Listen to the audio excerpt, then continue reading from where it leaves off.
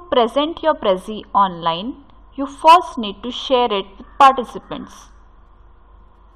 To start presenting to anyone, click on the share button and select present remotely.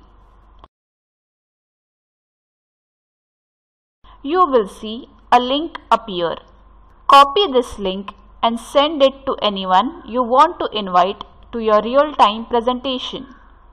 Then click on Start Presentation to start your live presentation. You can present to a maximum of 30 participants at a time. Once the participants click on the link that you have shared and joined your presentation, you can see their names on the right hand side. While presenting online, use the same mouse and keyboard controls as you would have used for your offline presentation. Once you are done presenting remotely, click on Stop Presentation.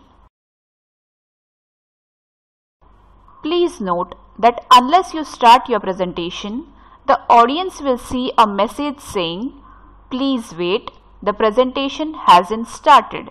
While presenting remotely, you can always go back to the edit mode and make changes to your Prezi while you are presenting it live. The audience at this stage will remain in the presentation mode and will not be able to see the edit mode.